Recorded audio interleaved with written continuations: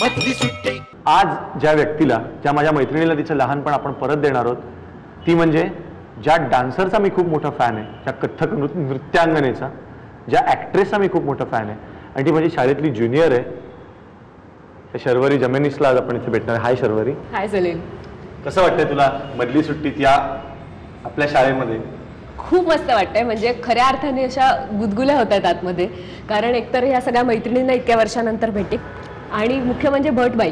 त्यांना मी शाळा सोडल्यानंतर आत्ताच भेटते. तर या कार्यक्रमाच्या निमित्ताने माझी आणि त्यांची भेट होते. माझ्यासाठी खूप महत्त्वाची आणि छान गोष्ट एकदम. पण एक मला सांग की इतक्या तुम्ही सगळ्या मैत्रिणी दिसताय बाई इथे पण एकही मुलगा नाही तुमच्या बॅचचा? घाबरतात आम्हाला. म्हणजे घाबरायची आणि अजूनही घाबरतात.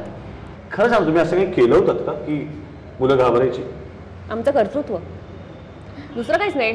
अकॅडमिक्समध्ये नाट्यवाचनात सगळ्याच बाबतीत म्हणजे स्पोर्ट्समध्ये वगैरे आम्ही जे म्हणजे तुम्ही चांगलं काय काय करायचं त्याचं कौतुक पाहिजे ना. तुमच्यापासून लांब का पडायची मुलं? आमच्यामध्ये अ वर्ग मुलींचा ब वर्ग मुलांचा असं होतं.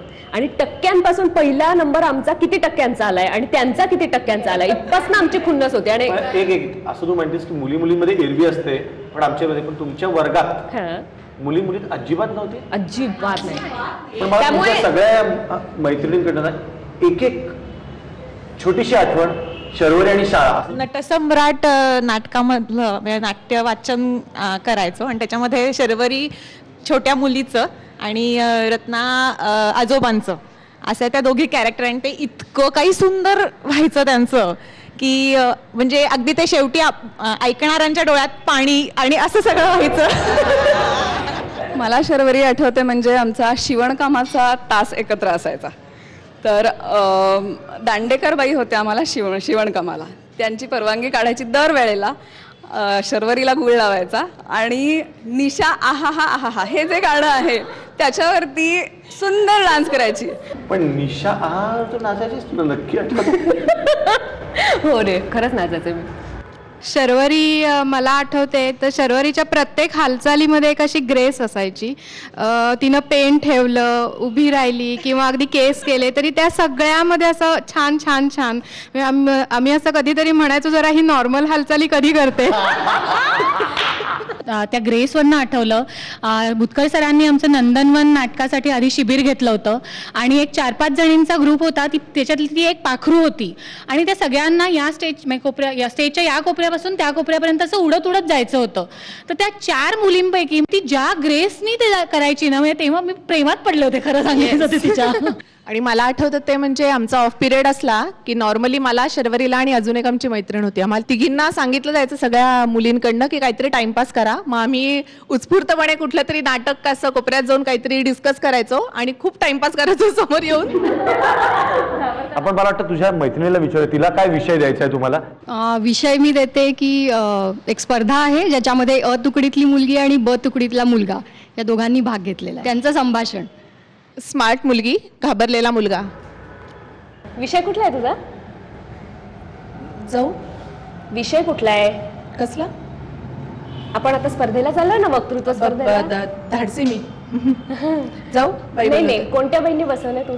मार्गदर्शन? भटबाई अरे वा म्हणजे तर चांगलंच असणार आहे. झाली तयारी? आलो आलो आलो आलो. बाय.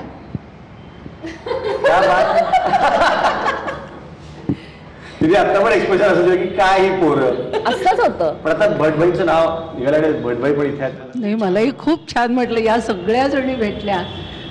आणि असं कल्पना नव्हती पाहिल्याबरोबर असं कुणाला कुणाशी काय बोलू असं मला होते खरंच. तुमच्या काय आठवणी या सगळ्या बॅचच्या आणि शर्वरीच्या गुजराती नाटक जे बसवलं त्याच्यामध्ये मिनीचं काम तिनं केलं होतं. तर खरं त्यावेळेला तिला काही म्हणजे गुजराती बोलताही येत नव्हतं किंवा काही नाही मीही मराठीमध्ये गुजरातीचं हे लिहून तिच्याकडून मी असं म्हटलं म्हण बघू आता.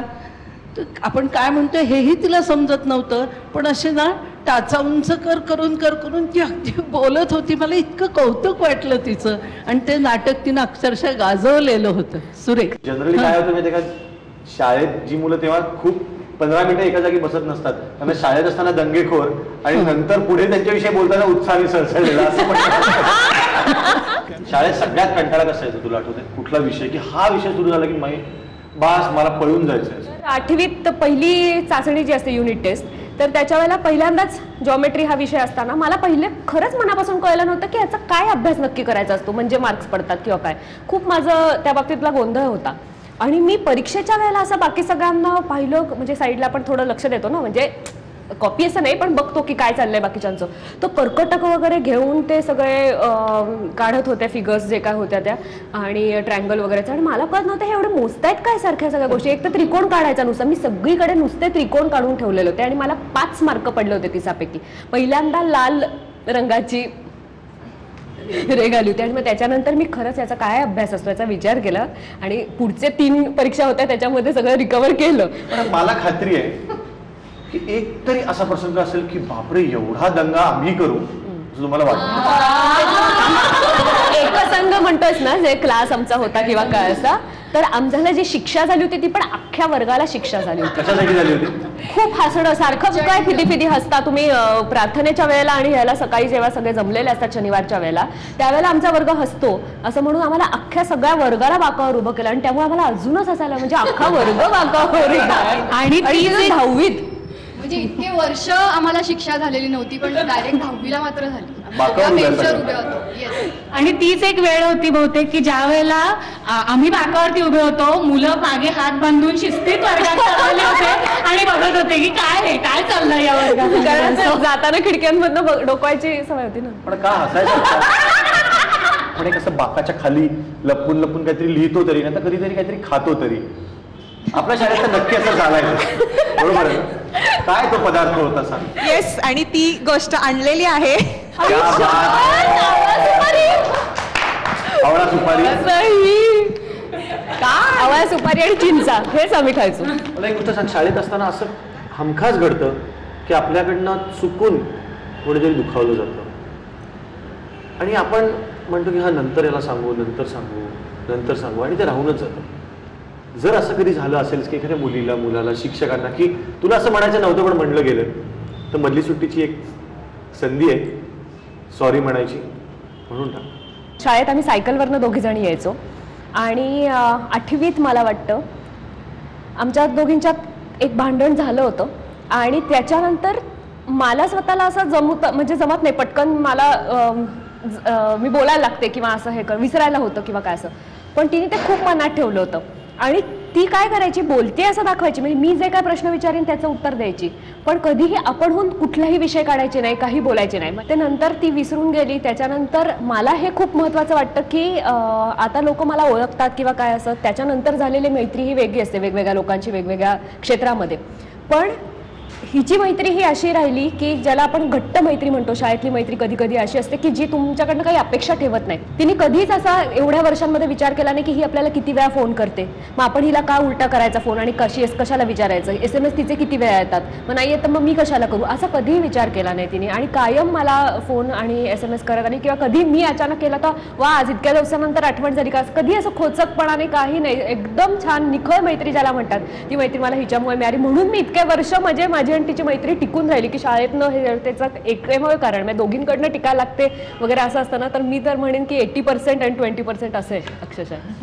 तर ती त्यावेळेला जे काय घडलं असेल किंवा काय पण मला असं वाटतं की मला सॉरी म्हणायला नक्की आवडेल की ही संधी आहे. सॉरी तू मला जर विचारलंस तर मी याच प्रसंगाकरता तिला सॉरी म्हणेन. कारण मी तिच्यावर खूप बॉसिंग केलंय मला जे काय आठवतंय ते.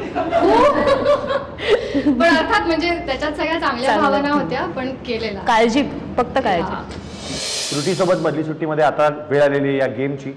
या फ्रुटीच्या बॉटलचं हेड मी गोल फिरवल्यावर ज्या व्यक्तीच्या समोर येऊन थांबेल त्यांनी शर्वरीविषयी किंवा तुमच्या सगळ्यांविषयी एक असं सिक्रेट सांगायचं जे तुम्ही आत्तापर्यंत कोणाला सांगितलेलं नाही आहे द गेम स्टार्ट्स नाव क्या बात आहे तुला सांगावं लागेल. आठवीतली गोष्ट आहे आम्ही रिसेसमध्ये आमचा व वरती वर्ग होता. आणि तिथल्या बाल्कनीमध्ये उभे होतो. आणि खालनं एका मुलानी काहीतरी कमेंट पास केली. आणि वर्ण शर्वरीनी टावा टावानी चप्पल हातात घेऊन त्याला वर्ण दाखवली होती. आणि त्यानंतर तो मुलगा आम्हाला म्हणजे जे काय त्यांनी त्रास दिलेला आहे आणि आमचं जे काय त्याच्यानंतर झालेलं आहे ते आम्हालाच माहिती म्हणून आम्ही हे कधीच कोणाला सांगितलं नाहीये. खरंच तुमच्या दोघींमध्ये असेल सिक्रेट कारण काय असतं ते आत्ताच्या अख्ख्या मोठ्या नकाशावर कदाचित खूप मोठं वाटणार नाही. पण ते शाळेच्या छोट्या नकाशावर खूप मोठं गाव असतं. त्याच्यातली प्रत्येक आठवणीच त्यामुळे ही सांगितली मला खूप गोड वाटलं. पण आता शाळेमधल्या एवढ्या सगळ्या गुणी मुली तर तुमच्या गाण्याने आपण शेवट करूया. आखरे भरारली निळी नभे झळाळली पालवी नवी नवी नरुवरी थरारली. हासऱ्या स्वरातुनी चालत्या पदातुनी झेप घेऊन उसळली ती चेतना. तिचे आम्ही सुभा